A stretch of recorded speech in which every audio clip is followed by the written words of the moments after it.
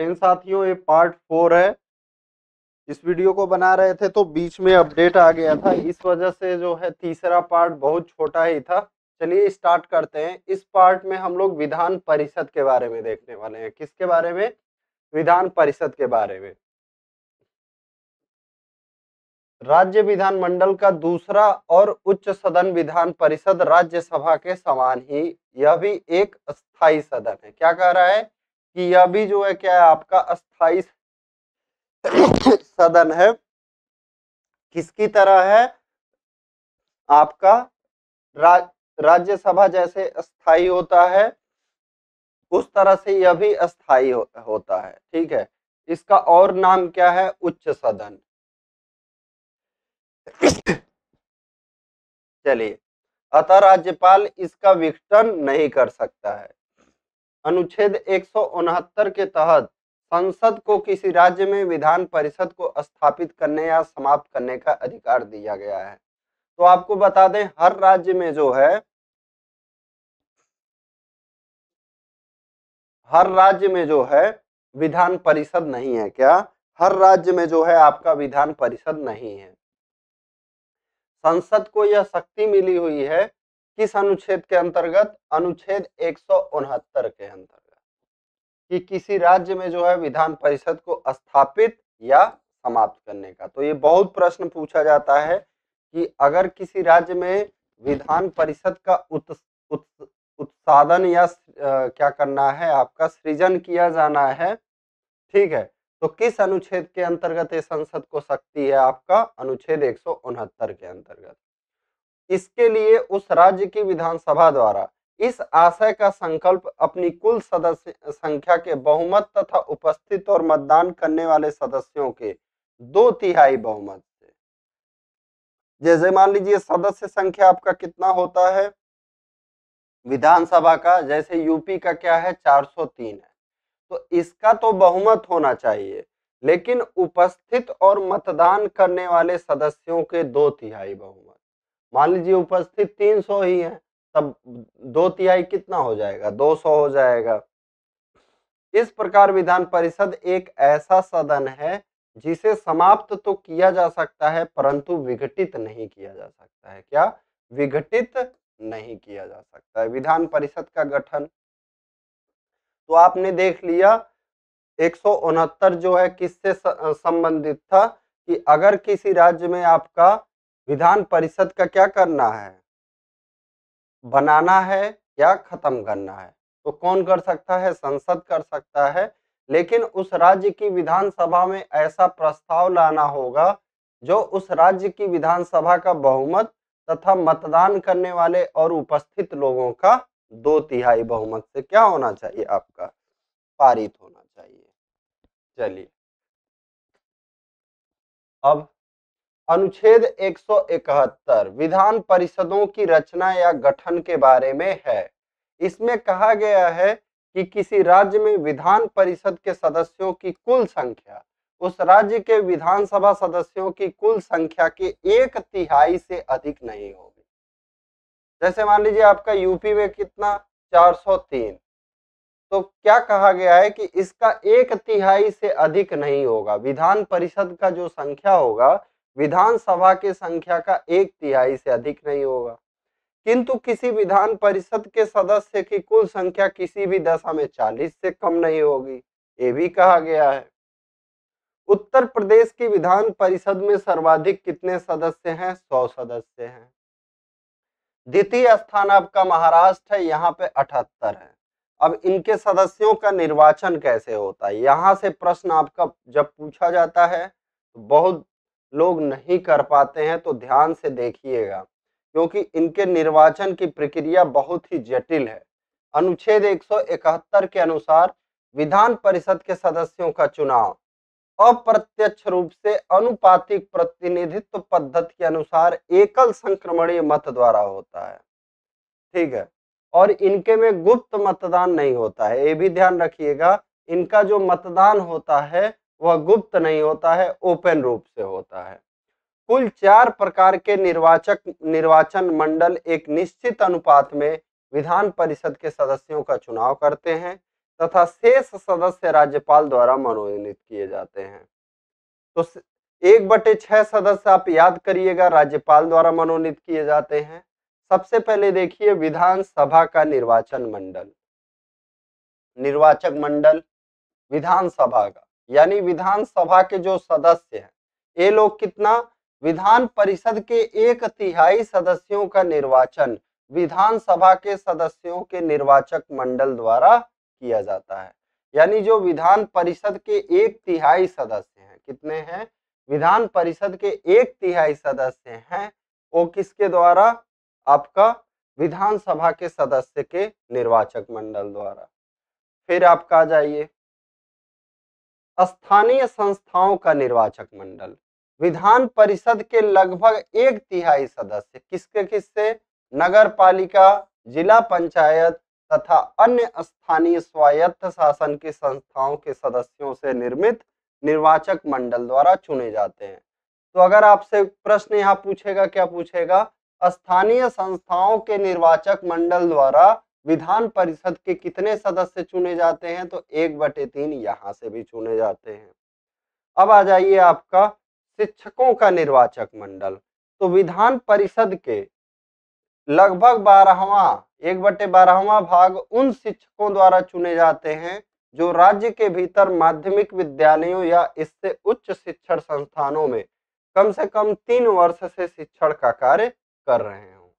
अब आ जाइए स्नातक स्नातक का निर्वाचक मंडल, विधान परिषद के सदस्यों का लगभग बारहवा भाग।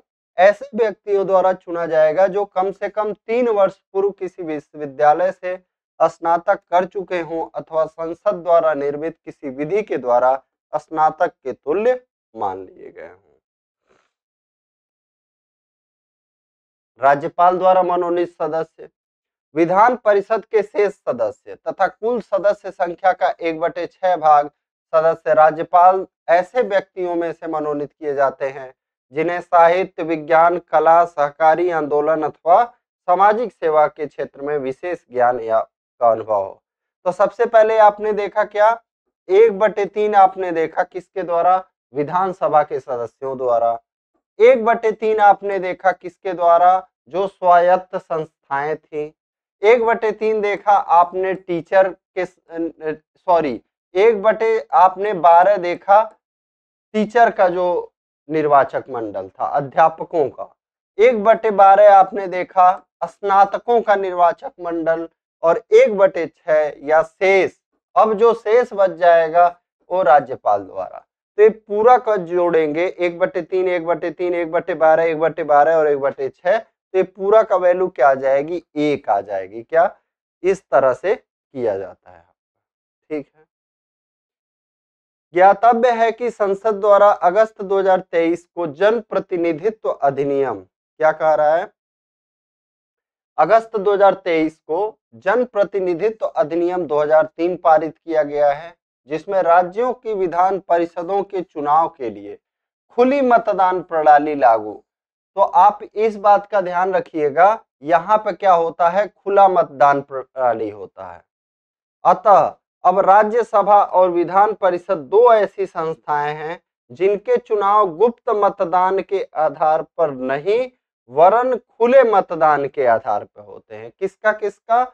विधान परिषद का और राज्यसभा का जो चुनाव होता है, वो खुले मतदान पे होता है। इस प्रणाली के तहत मतदाता अपना मतपत्र पार्टी के अधिकृत एजेंट को दिखा सकता है। अब सदस्यों की अहर्ताएँ देखते हैं। संविधान के अनुच्छेद 173 के अनुसार किसी व्यक्ति को विधान परिषद का सदस्य निर्वाचित होने के लिए आवश्यक है वह भारत का नागरिक हो 30 वर्ष की आयु पूरी कर चुका हो, ऐसी अन्य अहर्ताएँ रखता हो जो कि संसद द्वारा निर्मित किसी विधि द्वारा विहित की गई हो। अब इसका कार्यकाल देखिए।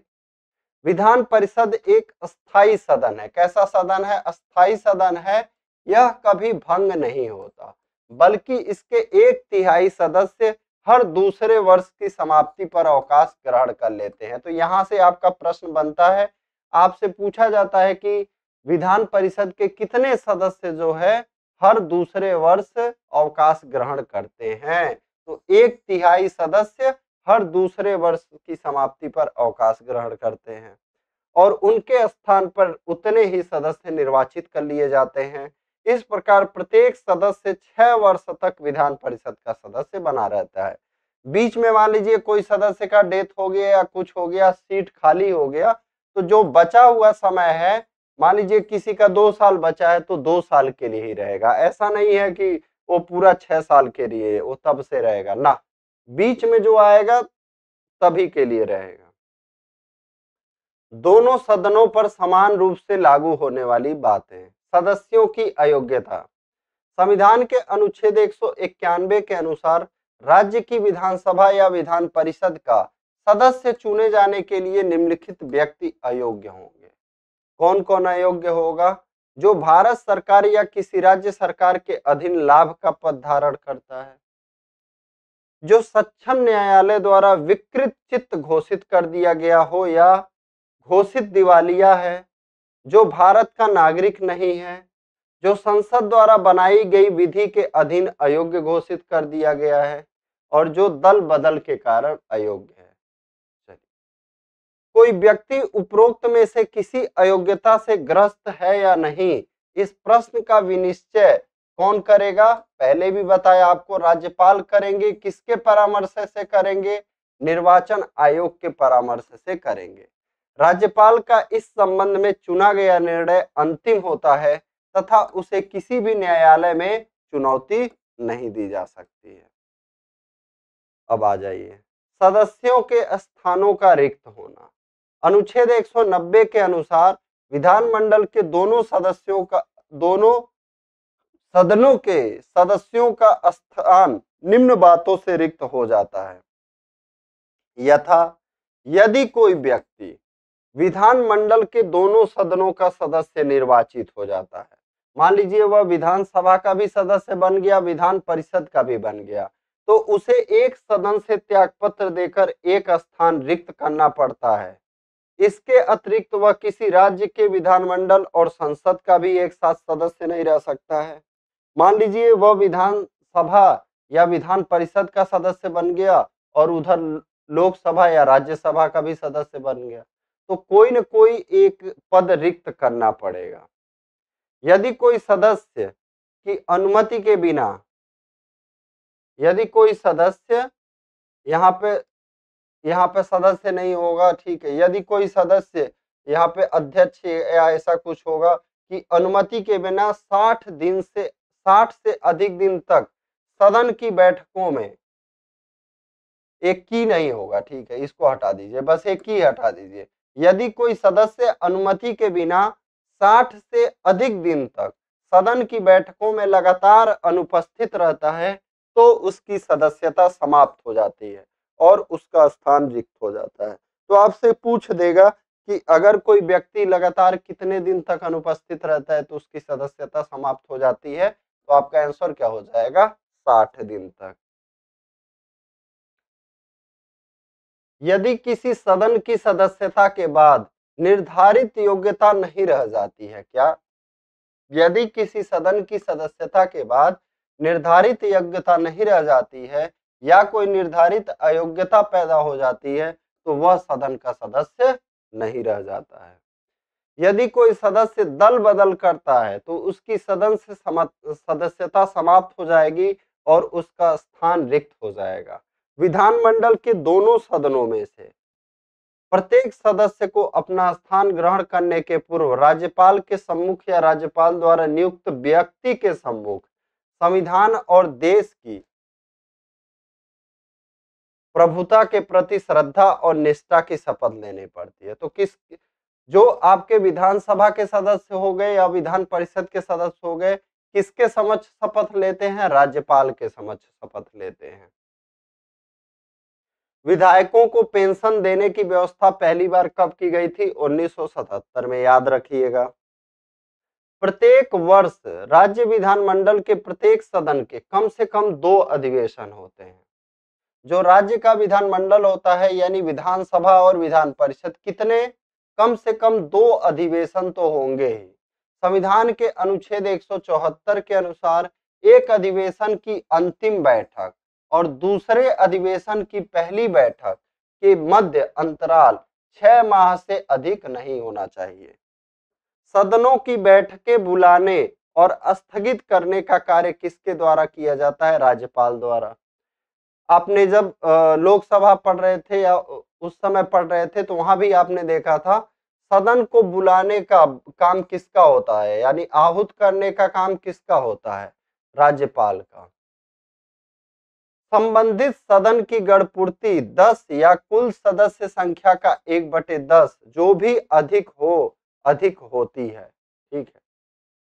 यहाँ पे कहने का क्या मतलब है?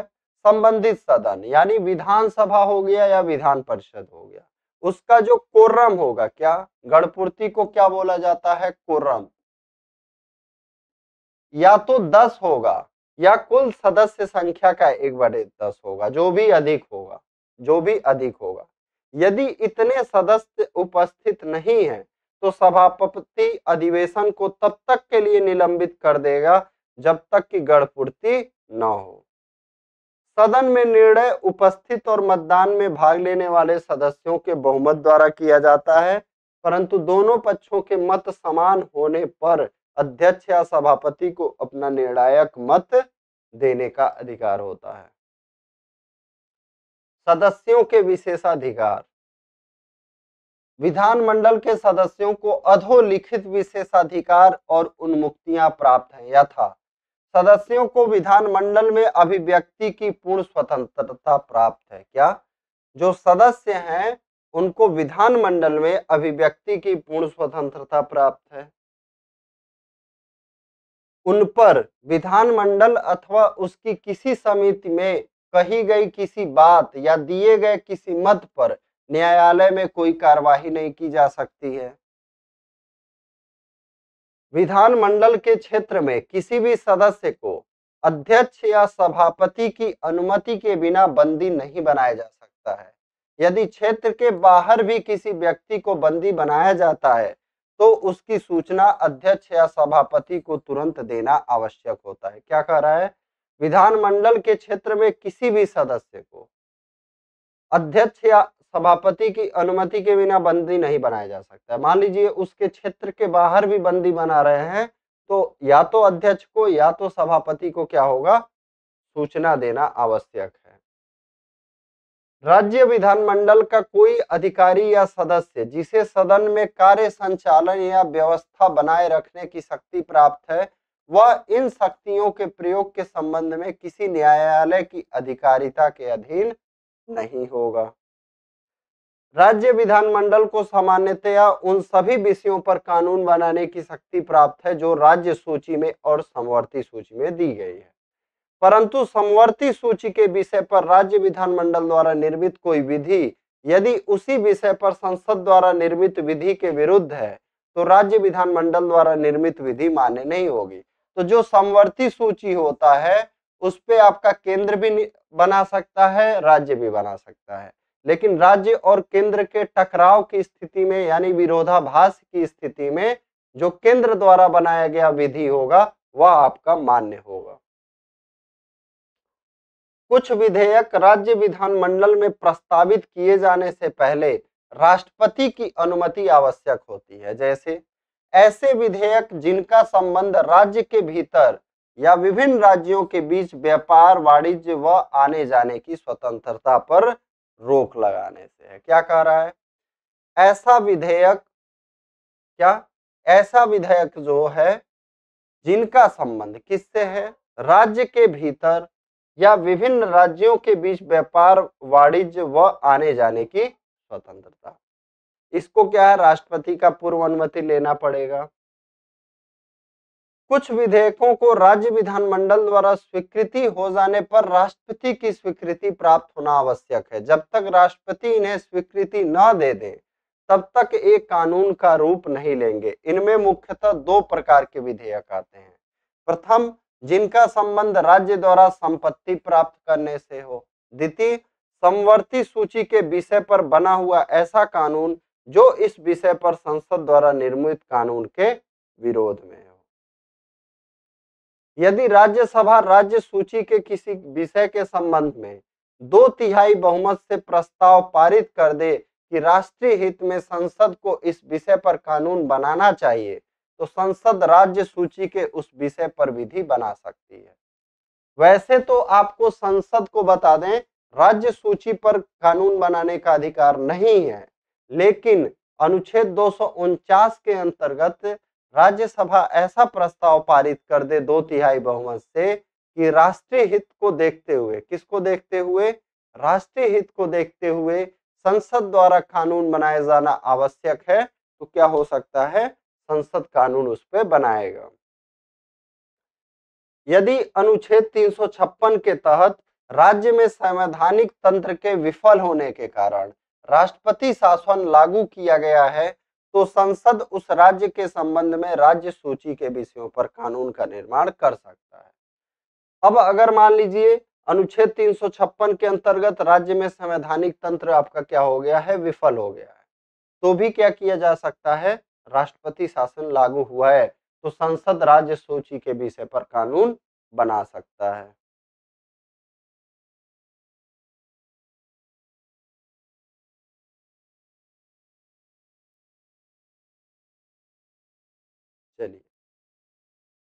संसद अंतर्राष्ट्रीय संधियों और समझौतों का पालन करने के लिए भी राज्य सूची के किसी विषय पर कानून बना सकती है। अब आ जाते हैं हम लोग प्रशासन संबंधी शक्ति। राज्य विधानमंडल को कार्यपालिका पर नियंत्रण की शक्ति भी प्राप्त है। किसको प्राप्त है? विधानमंडल को जो है कार्यपालिका पे। जैसे आपने देखा था विधायिका का कार्यपालिका पर नियंत्रण होता है। राज्य मंत्री परिषद विधानसभा के प्रति सामूहिक रूप से उत्तरदायी होती है। अतः मंत्री परिषद तभी तक अपने पद पर बनी रह सकती है, जब तक उसे विधानसभा का विश्वास प्राप्त है। यदि विधानसभा मंत्री परिषद के विरुद्ध अविश्वास प्रस्ताव पारित कर दे तो उसे त्याग पत्र देना पड़ता है। तो विधानसभा क्या हो गया? विधायिका हो गया। और जो मंत्री परिषद हो गया, वो कार्यपालिका हो गया। तो इस वजह से विधायिका जो के अंतर जो है, जो हमारा कार्यपालिका है, वो विधायिका के नियंत्रण में रहता है। क्या? यानी जो मंत्री परिषद होते हैं, विधानसभा के नियंत्रण में होते हैं। क्यों होते हैं? क्योंकि अगर विधानसभा ने अविश्वास प्रस्ताव पारित कर दिया तो पूरा मंत्री परिषद क्या हो जाएगा? आपका खत्म हो जाएगा, टाटा हो जाएगा। अब आ जाते हैं हम लोग वित्तीय शक्ति देखते हैं।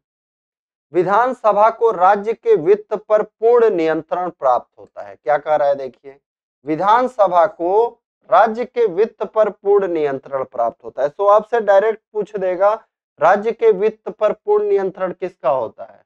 राज्यपाल दे देगा ऑप्शन विधानसभा, विधान परिषद, मुख्यमंत्री तो क्या हो जाएगा आपका विधानसभा। धन विधेयक और वित्त विधेयक को राज्यपाल की पूर्व अनुमति से, किसकी पूर्व अनुमति से?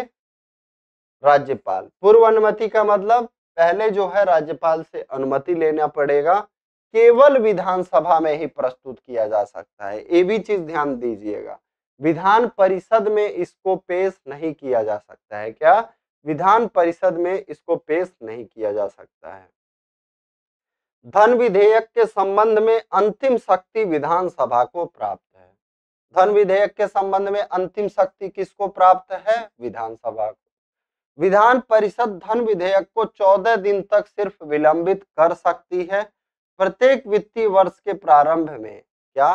प्रत्येक वित्तीय वर्ष का जब प्रारंभ होता है, राज्यपाल के आदेश से वित्त मंत्री द्वारा वर्ष भर के आय व्यय का विवरण, जिसे वार्षिक वित्तीय विवरण या बजट कहा जाता है, विधानमंडल के दोनों सदनों के समक्ष रखा जाता है। विधानसभा अपने अध्यक्ष तथा उपाध्यक्ष को पद से हटा सकती है। ये चीज़ तो हम लोग पहले भी पढ़े थे कि विधानसभा जो है अपने अध्यक्ष और उपाध्यक्ष को पद से हटा सकती है। ऐसा करने के लिए चौदह दिन का पहले सूचना देना पड़ेगा। विधानसभा सदस्य समस्त सदस्यों के किससे? बहुमत से प्रस्ताव पारित करे और विधान परिषद भी अपने सभापति या उपसभापति को चौदह दिन पूर्व सूचना देकर प्रस्ताव करके उसे पद से हटा सकती है। अब आ जाते हैं हम लोग साधारण विधेयक के बारे में प्रक्रिया देखते हैं। साधारण विधेयकों को विधानसभा या विधान परिषद दोनों में से किसी भी सदन में प्रस्तुत किया जा सकता है।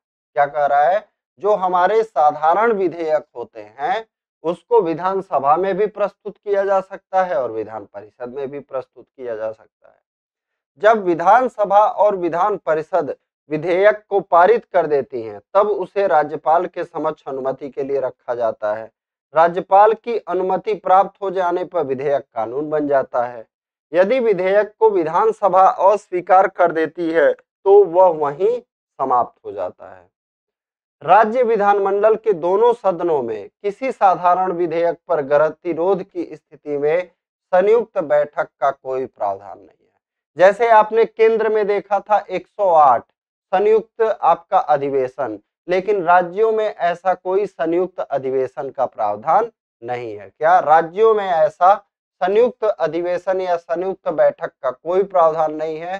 तो अगर किसी साधारण विधेयक पर क्या होता है? गतिरोध होता है। क्या होता है? साधारण विधेयक पर गतिरोध होता है तो वह विधेयक वहीं पे समाप्त हो जाएगा। किसी विधेयक पर गतिरोध होने पर विधान परिषद को कुल चार माह तक सिर्फ़ विलंब करने की शक्ति है। तो आपसे प्रश्न पूछ देगा, किसी विधेयक पर विधान परिषद को अधिकतम कितना समय तक उसको रोकने की शक्ति है? तो एक प्लस तीन माह, कितना माह हो जाएगा आपका? चार माह तक जो है विलंब करने की शक्ति है। विधेयकों पर राज्यपाल की अनुमति? जब कोई भी विधेयक विधानसभा द्वारा या विधान परिषद वाले राज्यों में दोनों सदनों द्वारा पारित कर दिया जाता है, तब अनुच्छेद 200 के तहत उसे राज्यपाल के समक्ष अनुमति के लिए रखा जाता है। अब राज्यपाल विधेयक के संबंध में क्या क्या शक्ति है उनको और क्या क्या कर सकते हैं देखिए, वह विधेयक पर अनुमति दे सकता है, यानी उसको परमिशन दे सकते हैं। या परमिशन नहीं दे सकते हैं। पहला चीज़, अनुमति दे सकते हैं, दूसरा अनुमति नहीं दे सकते हैं। फिर, वह विधेयक को राष्ट्रपति के विचार के लिए आरक्षित कर सकता है। क्या कर सकता है? विधेयक को जो है, राष्ट्रपति के विचार के लिए। वो कहेगा कि हम जो है, चाहते हैं कि इस पर राष्ट्रपति महोदय के द्वारा विचार किया जाए। विधेयक को सदन या सदनों को पुनर्विचार के लिए वापस कर सकता है। तो आपने पहले देखा, अनुमति दे सकता है, अनुमति नहीं दे सकता है, राष्ट्रपति के लिए भी रख सकता है, या सदनों को कह सकता है, फिर से विचार करिए। किंतु जब राज्य विधानमंडल या राज्यपाल द्वारा पुनर्विचार के लिए लौटाए गए विधेयक को विधेयक को पुनः संशोधन सहित या रहित राज्यपाल की अनुमति के लिए भेजती है तो राज्यपाल विधेयक पर अनुमति देने से इनकार नहीं कर सकता है। उल्लेखनीय है कि ऐसा विधेयक, जो उच्च न्यायालय की शक्तियों का अल्पीकरण करता अल्पीकरण मतलब उच्च न्यायालय की शक्तियों को जो कम करने वाला विधेयक हो, राज्यपाल अनुमति नहीं देगा और इसे राष्ट्रपति के विचार के लिए आरक्षित रखेगा। क्या करेगा? राज्यपाल इस पे अनुमति नहीं देगा, वो क्या करेगा? इसको राष्ट्रपति के लिए आरक्षित रखेगा। विचार के लिए आरक्षित विधेयक। अनुच्छेद 201 के अनुसार जब कोई विधेयक राज्यपाल द्वारा राष्ट्रपति के विचारों के लिए आरक्षित किया जाता है, तब राष्ट्रपति उस विधेयक पर अपनी अनुमति दे सकता है, अनुमति रोक सकता है अथवा राज्यपाल को निर्देश दे सकता है कि विधेयक राज्य विधानमंडल को पुनर्विचार हेतु क्या करे? लौटा दे। जैसे राज्यपाल बाध्य थे वैसे राष्ट्रपति बाध्य नहीं होते हैं, इस बात को ध्यान दीजिएगा। अब मान लीजिए राज्यपाल महोदय ने कोई विधेयक क्या किया, लौटा दिया? क्या किया? राज्यपाल महोदय ने कोई विधेयक लौटा दिया, ठीक है। अब राज्यपाल जी ने विधेयक लौटा दिया, वो विधेयक पास होके आया, फिर उनके पास आया तो अब क्या होगा? उनको फिर परमिशन देना होगा। लेकिन राष्ट्रपति के केस में ऐसा नहीं है। क्या? राष्ट्रपति के केस में ऐसा नहीं है। राष्ट्रपति को अनुमति देने के लिए बाध्य नहीं है। चलिए। किंतु राष्ट्रपति पुनर्विचार के पश्चात प्रस्तुत विधेयक पर अनुमति देने के लिए बाध्य नहीं है। अब आ जाइए धन विधेयक की प्रक्रिया। जैसे आपका केंद्र में अनुच्छेद 109 है, धन विधेयक की प्रक्रिया। तो राज्यों में धन विधेयक की प्रक्रिया किसमें है? एक में है। अनुच्छेद एक के तहत राज्य विधानमंडलों द्वारा धन विधेयक पारित करने के संबंध में एक विशेष प्रक्रिया का प्रावधान किया गया है। अनुच्छेद एक के अनुसार धन विधेयक विधान परिषद में पुनः स्थापित नहीं किया जाएगा। अतः धन विधेयक को सिर्फ़ विधानसभा में प्रस्तुत किया जाता है। धन विधेयक को प्रस्तुत करने के लिए राज्यपाल की सिफारिश आवश्यक है। यानी पहले राज्यपाल का जो है, उस पर क्या किया जाता है सिफारिश? विधान परिषद को धन विधेयक चौदह दिन के अंदर सिफारिशों सहित विधानसभा को लौटाना होता है। विधानसभा विधान परिषद की सिफारिशों को स्वीकार या अस्वीकार कर सकती है। यानी विधानसभा चाहे तो स्वीकार करे, चाहे तो अस्वीकार करे। चलिए। यदि विधानसभा, विधान परिषद की किसी सिफारिश को स्वीकार करती है तो विधेयक स्वीकार किए गए संशोधनों सहित दोनों सदनों द्वारा पारित समझा जाता। किंतु यदि विधानसभा किसी सिफारिश को स्वीकार नहीं करती है तो विधेयक किसी संशोधन के बिना उस रूप में दोनों सदनों द्वारा पारित समझा जाता है, जिस रूप में विधानसभा द्वारा पारित किया गया था। जब कभी किसी राज्य विधानमंडल में यह प्रश्न उठता है कि कोई विधेयक धन विधेयक है या नहीं तो उसका विनिश्चय कौन करता है? विधानसभा अध्यक्ष करते हैं और उनका फैसला जो होता है, क्या होता है? अंतिम होता है। अब आ जाते हैं हम लोग संघ राज्य क्षेत्र और उनका प्रशासन। उन्नीस सौ तिरपन में न्यायमूर्ति फजल अली की अध्यक्षता में राज्य पुनर्गठन आयोग का गठन किया गया था। कब गठन किया गया था? राज्य पुनर्गठन आयोग का गठन उन्नीस सौ तिरपन में। जिसकी रिपोर्ट के आधार पर 1956 में राज्यों के पुनर्गठन के उद्देश्य से सातवां संविधान संशोधन अधिनियम 1956 पारित किया गया। तो राज्यों का पुनर्गठन करने के लिए कौन सा संविधान संशोधन किया गया? सातवां संविधान संशोधन 1956 में। इस संशोधन द्वारा राज्यों के उक्त चार वर्गों को समाप्त कर उन्हें दो वर्गों यथा राज्य तथा संघ राज्य क्षेत्र में रखा गया। वर्तमान में भारतीय संघ के तहत कुल 28 राज्य और 8 संघ राज्य क्षेत्र हैं। और उन्नीस सौ छप्पन में कितने थे? 14 और 6 14 राज्य और 6 संघ राज्य क्षेत्र। संघ राज्य क्षेत्रों के बारे में उल्लेख। संविधान के भाग आठ अनुच्छेद दो सौ उनतालीस से दो सौ बयालीस के अंतर्गत किया गया है। संघ राज्य क्षेत्रों के बारे में किस भाग में है आपका? भाग आठ में है। किस अनुच्छेद से किस अनुच्छेद तक? दो सौ उनतालीस से दो तक इसमें अनुच्छेद दो सौ उनतालीस संघ राज्य क्षेत्रों के प्रशासन के बारे में है। तो आप याद रखिएगा, आपसे डायरेक्ट प्रश्न पूछ देगा, संघ राज्य क्षेत्रों के बारे में प्रशासन किस, संघ राज्य क्षेत्रों का प्रशासन के बारे में उल्लेख किस अनुच्छेद में है? तो दो सौ उनतालीस में। संघ राज्य क्षेत्रों का प्रशासन किसके द्वारा किया जाता है? राष्ट्रपति द्वारा किस, किया जाता है। राष्ट्रपति किसी राज्य के राज्यपाल को। किसी निकटवर्ती संघ राज्य क्षेत्र का प्रशासक नियुक्त कर सकता है। जैसे मान लो, आपका पंजाब का है, राज्यपाल तो राष्ट्रपति क्या कर सकता है? उसे चंडीगढ़ का भी प्रशासक नियुक्त कर सकता है। और जहाँ कोई राज्यपाल इस प्रकार प्रशासक नियुक्त किया जाता है, वह ऐसे प्रशासक के रूप में अपने कृत्यों का प्रयोग मंत्री परिषद से स्वतंत्र रूप से करता है। राष्ट्रपति द्वारा नियुक्त प्रशासक संघ राज्य क्षेत्रों का प्रशासन संसद द्वारा निर्मित विधि के अनुसार या विधानसभा द्वारा निर्मित विधि के अनुसार चलाता है। ध्यातव्य है कि जिन संघ राज्यों की अपनी विधानसभा नहीं है, उसके लिए विधि का निर्माण करता है। तो संघ राज्य क्षेत्रों में सिर्फ़ तीन ही के पास तो आपका विधानसभा है। जम्मू कश्मीर, दिल्ली और आपका पुदुचेरी। बाकी आपका पाँच के पास नहीं है तो उनका जो रहेगा, किसके अनुसार रहेगा? संसद के अनुसार रहेगा। जिसके पास अपनी विधानसभा है, उनका विधानसभा के अनुसार। चौदहवें संविधान संशोधन अधिनियम उन्नीस सौ बासठ द्वारा संविधान में अनुच्छेद दो सौ उनतालीस क को जोड़कर किस संविधान संशोधन द्वारा? Fourteen amendment. चौदहवा अमेंडमेंट द्वारा दो सौ उनतालीस क को जोड़कर यह प्रावधान किया गया कि संसद कुछ संघ राज्य क्षेत्रों के लिए विधान मंडल या मंत्री परिषद या दोनों का सृजन कर सकती है। इस शक्ति के प्रयोग से संसद द्वारा संघ राज्य क्षेत्र पुद्दुचेरी के लिए विधानसभा तथा मंत्री परिषद का प्रावधान किया गया है। पुद्दुचेरी में विधानसभा का प्रावधान संविधान संशोधन द्वारा नहीं बल्कि संसदीय विधि द्वारा किया गया है।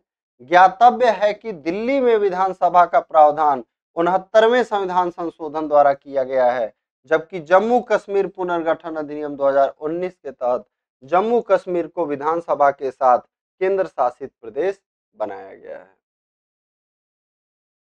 उनहत्तरवा संविधान संशोधन अधिनियम पारित कर संविधान में अनुच्छेद दो सौ उनतालीस क का क, क्या? अनुच्छेद दो सौ उनतालीस क का क और अनुच्छेद दो सौ उनतालीस क का ख को जोड़ा गया।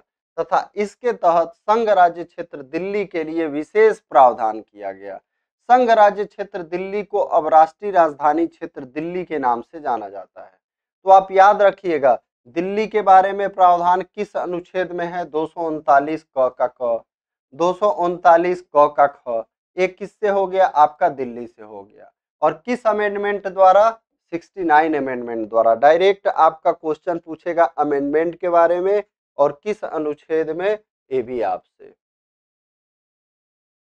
उपराज्यपाल।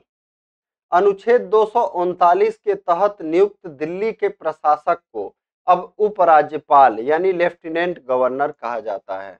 उपराज्यपाल की नियुक्ति राष्ट्रपति द्वारा की जाती है। तो आपसे डायरेक्ट पूछ देगा, उपराज्यपाल की नियुक्ति किसके द्वारा की जाएगी? राष्ट्रपति के द्वारा। तथा वह उसके प्रति ही उत्तरदायी होता है। उपराज्यपाल राष्ट्रीय राजधानी क्षेत्र दिल्ली का संवैधानिक प्रमुख होने के साथ साथ यहाँ की कार्यपालिका का भी प्रमुख होता है। वह राष्ट्रपति द्वारा नामित एक ऐसे अधिकारी हैं जो विशेष प्रावधानों के तहत राष्ट्रपति द्वारा प्रदत्त शक्तियों का प्रयोग करता है। उपराज्यपाल अध्यादेश भी जारी कर सकता है क्या? उपराज्यपाल अध्यादेश भी। इसका प्रावधान किस अनुच्छेद में है? दो ख में। जो राष्ट्रीय राजधानी क्षेत्र दिल्ली के लिए भी लागू होता है। दिल्ली विधानसभा में सदस्यों की संख्या कितना है? तो देखिए, दिल्ली विधानसभा में सदस्यों की जो संख्या है सत्तर है। और सदस्यों का चुनाव कैसे होता है? वयस्क मताधिकार पर। और प्रत्यक्ष निर्वाचन द्वारा, इसमें जनता वोट करती है। विधानसभा का निर्वाचन भारत के निर्वाचन आयोग द्वारा संचालित किया जाता है। उपराज्यपाल को विधानसभा का सत्र बुलाने, सत्रावसान करने तथा विधानसभा को विघटित करने का अधिकार है। किसको? उपराज्यपाल को। क्या क्या अधिकार है? सत्र को बुलाने, सत्रावसान करने तथा विधानसभा को विघटित करने का। और स्थगित करने का अधिकार किसको होता है? स्थगन। विधानसभा का स्थगन कौन करता है? विधानसभा अध्यक्ष जो होते हैं। विधानसभा के सदस्यों को अन्य राज्यों की विधानसभा के सदस्यों के भांति राष्ट्रपति के चुनाव में मत देने का अधिकार है। यह अधिकार उन्हें किस संविधान संशोधन द्वारा दिया गया? सत्तरवें संविधान संशोधन द्वारा। मंत्री परिषद दिल्ली संघ क्षेत्र के प्रशासन के लिए उपराज्यपाल के अलावा एक मंत्रिपरिषद का प्रावधान भी है। इसके सदस्यों की संख्या विधानसभा के कुल सदस्यों के 10 परसेंट से अधिक नहीं हो सकती। इस प्रकार मंत्री परिषद में मुख्यमंत्री सहित अधिकतम सात मंत्री हो सकते हैं। मंत्री परिषद का प्रधान मुख्यमंत्री होता है। मंत्री परिषद से संबंधित विशेष बात यह है कि दिल्ली के मुख्यमंत्री की नियुक्ति राष्ट्रपति करेंगे, न कि राज्यपाल। क्या कर रहा है? दिल्ली के जो मुख्यमंत्री होते हैं, जैसे बाकी राज्यों में मुख्यमंत्री की नियुक्ति कौन करते हैं? राज्यपाल करते हैं। लेकिन दिल्ली के जो मुख्यमंत्री होंगे और पुद्दुचेरी के जो मुख्यमंत्री होंगे, उनकी नियुक्ति कौन करेगा? राष्ट्रपति करेंगे। राज्यपाल और मुख्यमंत्री राष्ट्रपति के प्रति ही उत्तरदायी होगा। सॉरी, राष्ट्रपति करेंगे न कि राज्यपाल। और मुख्यमंत्री जो है, किसके प्रति उत्तरदायी होगा? राष्ट्रपति के प्रति। मंत्रियों की नियुक्ति भी मुख्यमंत्री के परामर्श पर राष्ट्रपति करेंगे। यानी और जो मंत्री बनाए जाएँगे उनकी नियुक्ति भी राष्ट्रपति ही करेंगे। राष्ट्रपति के प्रसाद पर्यंत अपने पद पर बने रहेंगे। बाकी विधानसभा में आपने देखा था, राज्यपाल के प्रसाद पर्यंत रहते हैं मंत्री। मंत्री परिषद विधानसभा के प्रति सामूहिक रूप से उत्तरदायी होगी। ये आपका सेम ही है। वर्तमान में पुदुचेरी एकमात्र ऐसा संघ राज्य क्षेत्र है, जहाँ दो क के तहत संसदीय विधि द्वारा सृजित विधानसभा तथा मंत्री परिषद है। पुदुचेरी में विधानसभा सदस्यों की संख्या तीस है।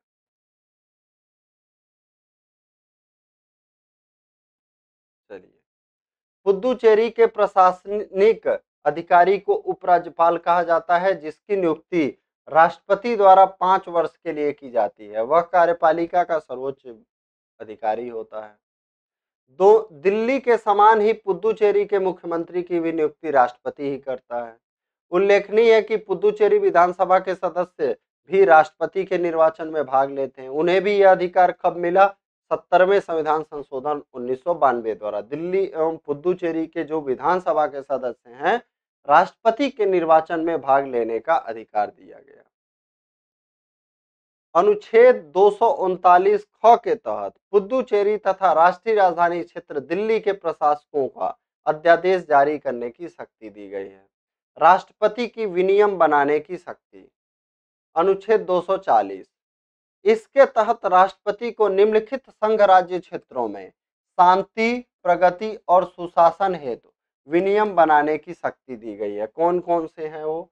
अंडमान, निकोबार द्वीप समूह, लक्षद्वीप दादरा और नागर हवेली तथा दमन और द्वीप पुदुचेरी। अब आ जाते हैं हम लोग संघ राज्य क्षेत्रों के लिए उच्च न्यायालय। अनुच्छेद 241 के तहत, संसद को यह शक्ति प्राप्त है, किसको शक्ति प्राप्त है? संसद को, कि किसी संघ राज्य क्षेत्र के लिए उच्च न्यायालय की स्थापना कर सकती है। तो आपसे प्रश्न क्या पूछ देगा? किस अनुच्छेद के तहत संसद को यह अधिकार प्राप्त है कि संघ राज्य क्षेत्रों के लिए उच्च न्यायालय तो अनुच्छेद 241 के तहत, या ऐसे राज्य क्षेत्र के किसी न्यायालय को संविधान के सभी या किन्हीं प्रयोजनों के लिए उच्च न्यायालय घोषित कर सकती है। संसद द्वारा इस शक्ति का प्रयोग उन्नीस सौ छियानवे में संघ राज्य क्षेत्र दिल्ली के लिए उच्च न्यायालय स्थापित किया गया है। उल्लेखनीय है कि दिल्ली एकमात्र ऐसा संघ राज्य क्षेत्र है जिसका अपना एक उच्च न्यायालय है। तो इसका चैप्टर सेवन जो है खत्म हो गया है, अब परीक्षा दृष्टि। यानी परीक्षा की दृष्टि से जो इम्पोर्टेंट होगा, उसको मैं आपको प्रयास करूँगा कि कल जो है करा दूँ, ठीक है? आज तो अभी मेरा इलेक्शन में ड्यूटी आज साढ़े तीन बजे ही मैं जग गया था, ठीक है? ताकि आपको क्लास में ज़रूर करा दूँ। ऐसा ना हो कि आपको कोई क्लास ना मिले तो आज आपको दो क्लास मिल गया हो, मिल जाएगा, ठीक है? मेरा प्रयास रहता है कि आपके लिए अच्छा कर सके।